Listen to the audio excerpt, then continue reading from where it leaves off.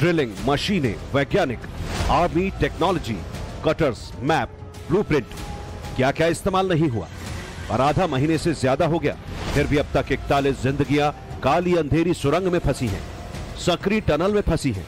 जरा सोचिए, हम आप घर में दो घंटे बिजली कटी रह जाए और रोशनी ना हो तो कैसे बेचैन हो जाते हैं? और यहाँ करीब 400 घंटों से घुप अंधेरा है। कब सुबह होती है, कब शाम होती है, कब रात होती है, कुछ पता नहीं। मानो समय थमसा गया है। समय काटने के लिए फ़ोन और लूडो का सहारा है। ताश की पत्तियाँ भेजी गई हैं। सुरंग के अंदर फंसे लोगों को पता है कि उन्हें निकालने की हर संभव कोशिश हो रही है। उनकी आवाज़ सुनी जा रही है। पर जब एक खबर जाती है कि मशीन टूट गई, बीच में विशाल काय पहाड़ आ गया तो कलेजा धक से रह जाता है। बाहर उनके परिजनों के सामने ऑप्शन नहीं। एक नई तारीख तक, वो सुरंग तक अपनी टकटकी को आगे बढ़ा देते हैं। पूछे उसके बारे में पूछे अंदर में कैसे है खाना पना मिला है कि नहीं? तो बोला हाँ खाना में रात में रोटी मिला था हाँ? और आज सुबह हम खिचड़ी खाए हैं। अगर निकल जाते हैं मेरा देवर हाँ? तो घर में भी सब खुश खुशी मनाएँगे। बच्चे लोग भी सब खुश हो जाएँगे। मम्मी पापा तो मतलब हद से ज़्यादा खुश हो जाएँगे। सबसे पहले उत्तरकाशी टनल में चल रहे 41 मजदूरों के रेस्क्यू ऑपरेशन की इन चार तस्वीरों को देखिए। प्लान ए और प्लान बी के फेल होने के बाद अब वर्टिकल ड्रिलिंग के ज़रिए मजदूरों तक पहुँचने की कोशिश की जा रही है। करीब 90 मीटर ड्रिल किया जाना है, जिसमें 36 मीटर ड्रिलिंग का काम पूरा हो गया है। दूसरी तरफ़ आर्मी की मदद से टनल में मैनुअल ड्रिलिंग का काम भी शुरू हो गया। आज ही पूरे ऑपरेशन का अपडेट लेने पीएमओ के बड़े बड़े अधिकारी देश के सबसे बड़े अधिकारी के साथ मौके पर पहुँचे। इन्हें देखिए, ये प्रधानमंत्री नरेंद्र मोदी के प्रधान सचिव पीके मिश्रा हैं। और ये देश के home secretary Ajay Kumar Bhalla. Tunnel में फंसे मजदूरों के हेल्थ असेसमेंट के लिए रोबोटिक्स विशेषज्ञ मिलिंद राज भी घटनास्थल पर मौजूद हैं। मतलब पीएमओ खुद पूरे ऑपरेशन की मॉनिटरिंग कर रहे हैं। प्रधानमंत्री नरेंद्र मोदी खुद हालात का ब्यौरा ले रहे हैं। जो भी संभव है, वो किया जा रहा है। जितनी संभावनाएँ तलाशी जा सकती है, जितनी टेक्नोलॉजी का इस्तेमाल किया जा सकता है, वो सब कुछ लगाया जा रहा है। उत्तरकाशी की टनल में फंसे मजदूरों को बाहर निकालने के लिए उत्तराखंड की धामी सरकार से लेकर पूरा का पूरा दिल्ली दरबार लगा हुआ है।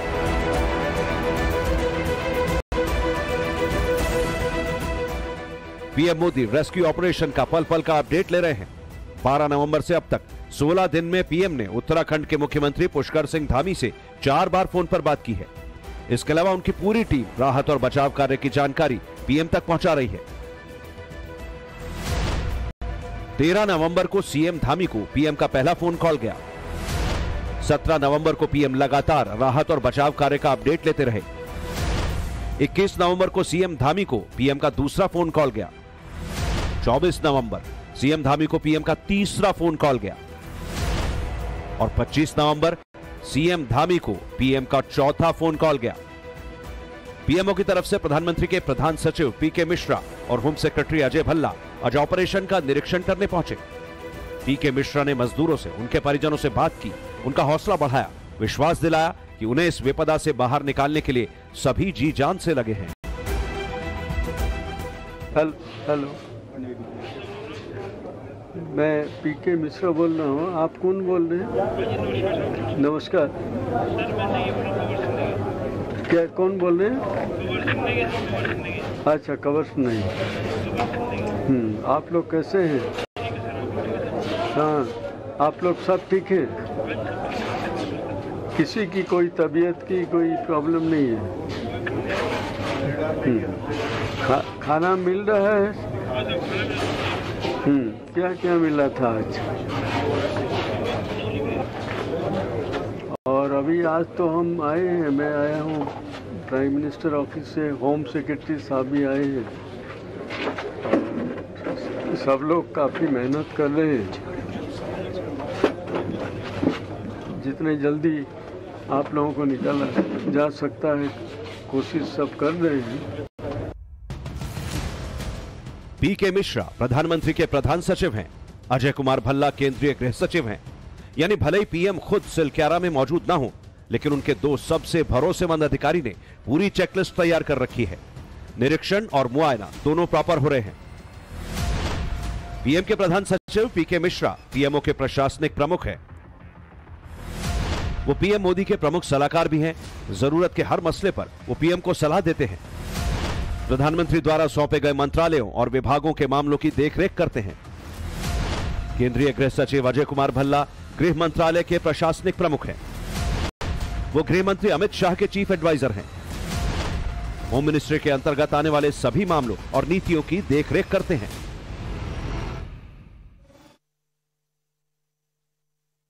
तस्वीरें देखिए पीके मिश्रा, प्रधानमंत्री मोदी के प्रिंसिपल सेक्रेटरी, वो यहाँ पर आ जाए और आज उन्हें इस टनल के अंदर ले जाकर वास्तु स्थिति क्या है, क्या चुनौतियाँ रही हैं, वो उन्हें दिखाया गया है।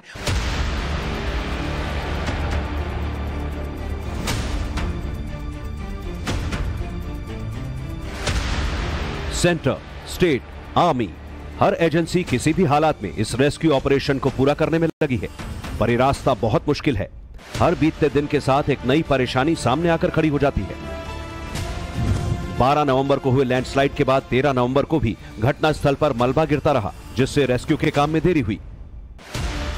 14 नवंबर को 800-900 मिलीमीटर के स्टील पाइप लाए गए, जो कि मलबे को अंदर धकेल सके, पर वो भी फेल हुए। 14 तारीख को ही बर्मा मशीन के ज़रिए ड्रिलिंग की कोशिश हुई, जो नाकाम साबित हुई। 15 तारीख को अमेरिकी ऑगर मशीन मंगाई गई। जिससे ड्रिलिंग करने में काफ़ी मुश्किलों का सामना करना पड़ा और 25 नवंबर को इसके ब्लेड्स टूट गए। 26 नवंबर को वर्टिकल ड्रिलिंग शुरू हुई, जिससे अब तक 36 मीटर तक खुदाई हो चुकी है। कुल सत्तासी मीटर की ड्रिलिंग की जानी है। मजदूरों तक पहुँचने का एक तीसरा प्लान है, जिसे अंजाम दिया जा रहा है। प्लान ये कि सिलक्यारा टनल की पहाड़ी की चोटी से मजदूरों तक पहुँचने की कोशिश की जाए। पहाड़ी के ऊपर पहुँचने के लिए एक अस्थायी सड़क और प्लेटफॉर्म पहले ही बना लिया गया था। मजदूरों तक पहुँचने के लिए सत्तासी मीटर तक ड्रिलिंग की जानी है, जो हॉरिजॉन्टल ड्रिलिंग का लगभग दोगुना है। बचाव कर्मियों का कहना है कि इस रफ्तार से ड्रिलिंग करते हुए वो 100 घंटे में मजदूरों तक पहुँच जाएँगे। अब बिलाल आपको दिखाएँगे यहाँ पर इस ट्रक की तस्वीर। जिसमें इक्विपमेंट्स जो है वो लोड हो रखी हैं।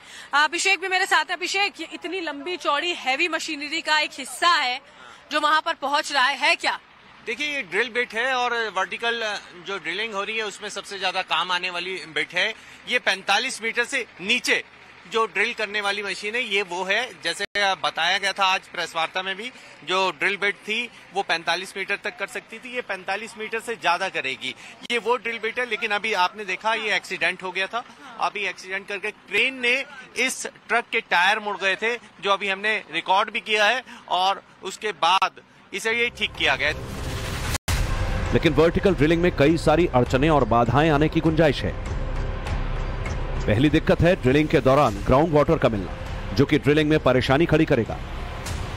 दूसरी दिक्कत है तूफ़ान और बर्फबारी। और तीसरी दिक्कत, बारिश के आसार। ये जो बड़े बड़े ड्रिल्स देख रहे हैं आप मेरे चारों ओर, दोनों तरफ़ ये ड्रिल्स हैं। यही ड्रिल्स अंदर जाएँगे और अंदर जाके जो मलबा है उसे ऊपर निकालेंगे और होल करके नीचे पहुँचने का प्रयास करेंगे।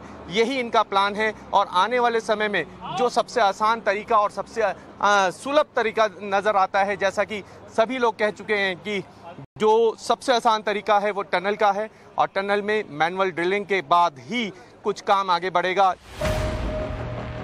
इसके अलावा जो प्लान बी बनाया गया है, उसमें सेना अहम भूमिका में है। इस प्लान के तहत सुरंग में मैनुअल ड्रिलिंग यानी कि हाथों से ड्रिलिंग की जाएगी। मैनुअल ड्रिलिंग में भारतीय सेना के जाबाज और दूसरी एजेंसियों के लोग हाथों से मलबा हटाएँगे। हथौड़े और छैनी से टनल के भीतर मलबे को हटाया जाएगा।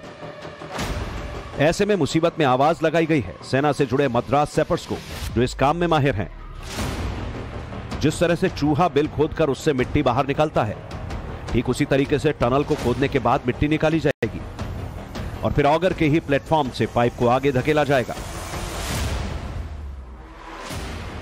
कहते हैं कि उम्मीद पर दुनिया कायम है। उम्मीद जब तक ज़िंदा है, तब तक आप ज़िंदा हैं। आज यही उम्मीद सिलक्यारा टनल के मुहाने पर दिखाई दी, जब पानी के रिसाव ने ऐसी आकृति उकेरी, जिसे वहाँ मौजूद लोग भगवान भोलेनाथ की आकृति बताने लगे। लोगों ने कहा कि भक्तों को बचाने के लिए खुद भगवान भोलेनाथ आए हैं। आज सोमवार का दिन है, भगवान शिव का दिन है। ऑपरेशन इतना लंबा खींच रहा है तो अब उम्मीदें चूँकि इस आकृति को लेकर बातें भगवान शिव की आकृति बताई जा रही है। तो भगवान शिव पर उम्मीद है कि अब भगवान शिव ही बेड़ा पार करेंगे। प्रकृति संपदा से परिपूरित हरी भरी चट्टानों से, तारु गुलमों से आच्छादित है, अवस्थित मस्तानों से, जिसके रग रग बसे हुए है, अडर ज्ञानी शिव अविनाशी, अपना प्यारा देश है भारत, जहाँ बसा है उत्तर काशी ये उत्तर काशी की धरती है। यहाँ पर अ, काशी विश्वनाथ का भी मंदिर है और यहाँ कण कण कण में लोग शंकर को मानते हैं। कंकर कंकर में शंकर की बात करते हैं तो ये बहुत बड़ी बात नहीं है कि यहाँ शिव की आकृति उभर कर आई है। स्थानीय लोगों का यह भी मानना है कि यह हादसा बाबा बौखनाग के प्रकोप की वजह से हुआ। बाबा बौखनाग को पहाड़ों का रक्षक कहा जाता है। उत्तरकाशी के राड़ी टॉप इलाके में बाबा बौखनाग देवता का मंदिर है। बाबा बौखनाग को स्थानीय लोग ईष्ट देवता भी मानते हैं। बाबा बौखनाग देवता को लेकर ग्रामीणों में काफ़ी मान्यता है। भगवान को मनाने और सभी लोगों की सकुशल वापसी के लिए हवन पूजन भी किया जा रहा है। आस्था के ज़रिए उम्मीद बनाई और बांधी जा रही है तो वहीं रेस्क्यू में एक एक, क्योंकि सवाल 41 जिंदगियों का है। कोई भी गलती बड़े हादसे का रूप ले सकती है, जो टनल के बाहर है वो परेशान है कि अंदर फंसे लोगों को कितनी जल्दी बाहर लाया जाए। और जिनके करीबी टनल के अंदर हैं, उनकी तकलीफ़ सिर्फ़ वही समझ सकते हैं। भूख प्यास तो अंदर मिट रही है, पर दिल भी घबरा रहा है कि आखिर इतनी देरी क्यों हो रही है? कितना समय और लगेगा? आखिर हम सब बाहर कब निकलेंगे? उत्तरकाशी से राकेश पांडे, बरखा शर्मा, अभिषेक सिन्हा और दिल्ली से अभिषेक राज के साथ bureau report, Times Now Bharat.